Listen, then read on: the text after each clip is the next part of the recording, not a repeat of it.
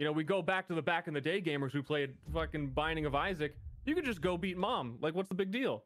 But nowadays, Hades is like, you got to play for a couple of hours before you can do plus 300% damage and double your health. What? Uh, why?